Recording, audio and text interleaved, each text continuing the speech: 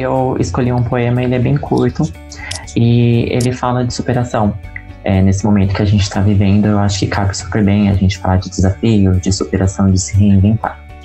O nome do poema é Ir Mais Além. Vencer um desafio, procurar a superação, escapar por um fio e tornar-se campeão.